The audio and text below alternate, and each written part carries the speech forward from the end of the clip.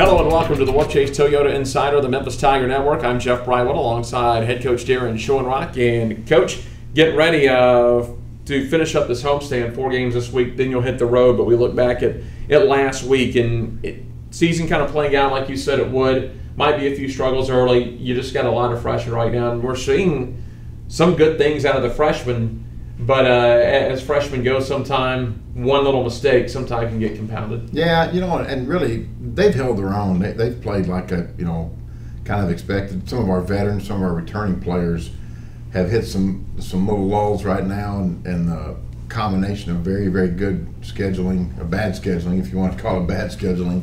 I don't know who does the schedule. uh, and and and some guys just not playing up to where they have in the past, and you know, it might be a little pressure that you know when you when you have uh, accolades to start a season and eyes are on you, uh, it, things are different. So, so we we got some upperclassmen going through that now. You know, there's some targets on some people's backs and and uh, and there's there's been some up and down days. And, and when you're playing great great opponents, that's that's hard to have those.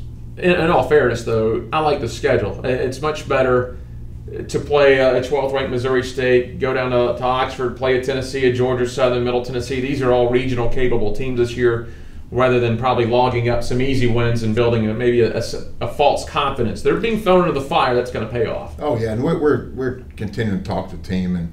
And they get down, you know, then they, as, as kids do, they pick it back up pretty quick, you know, the next day. But these things are all kind of put in play to, to get us ready for a very tough league schedule and that, that's when you hope you see the benefits of what we're doing now is when you start conference play. Had to dance around some weather this weekend against Missouri State. They swept the series, but all three games uh, you, you're in. Tried to rally in the first game, uh, game number two of the series. They tacked on five runs late to pull away, and again you, you, you, battle tooth and nail in the third game of that series. Yeah, we had chances to win all three, and it's. Uh, and it's been a combination of a couple different things. It hasn't been all pitching, or hasn't been we're not swinging the bat, or we're not scoring runs or we're, or we're not defending at the clip I want. It's com- kind of a combination where the pitching will show up and, and, and you'll be you know encouraged with what you're seeing, and then we don't make a couple plays and and uh, and then we get pitched to pretty easily. So getting all three facets of the game together at the same time and clicking, we, we really haven't done yet, and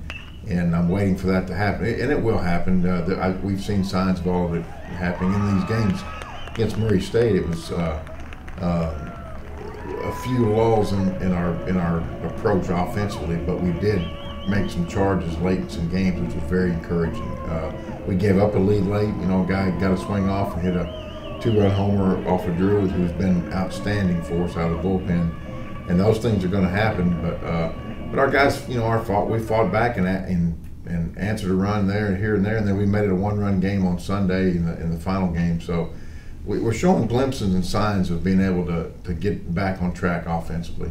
Coach, tonight uh, you'll host Pine Bluff, Pine Bluff, and Eastern Illinois coming in. They've each won one game. Uh, you look at it on paper, uh, you say it's going to be a good week, but you still got to play the games. They're not going to come in here and roll over for you. And, and, and in these games, you want to play uh, crisp, sharp baseball. You don't want to just go through the motions this Yeah, that's exactly right. And if you do that, you know, you, you're happy when you walk away. I, we haven't done that in a while. We haven't played a real, you know, sharp, clean game, and and uh, and that's the goal. Is we talked to our team a lot about baseball's a game where you just have to beat the game. You can't really focus on the opponent too much. You can't get caught up into who's in the other dugout or who's in the.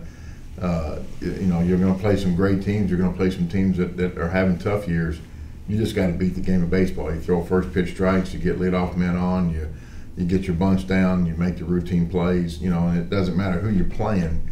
Uh, those things are what lead the win. So that's going to be the challenge: is to keep our minds on on beating the game and keep our minds on who the Tigers are and what we want to look like. Good weather for tonight. Should be mostly good weather for the weekend. I know they say it could be some scattered stuff on Saturday, but it looks like it'll be uh, able to unfold over three days. Yeah, you know, I'm anxious to get back and you know, we had a tough road stand, and now we got a little home stand here we can take advantage of. The, the Missouri State series, like it's, you know, we, we had a lot of tarp on and off in early mornings, and you don't ever like that. It's always a little bit of a disadvantage on the home team because you're you're up early and you're yeah. you're having to do a lot of stuff that the visiting team doesn't have to. But that's part of it. Uh, uh, we, we, you know, we're excited about this stretch we're in now and, and anxious to see how the guys come out and respond tonight. All right, Coach, we'll see you at FedEx Park. Thanks, Jeff. Head coach Daron Schoenrock, I'm Jeff Brightwell for the Wolfchase Toyota Insider on the Memphis Tiger Network.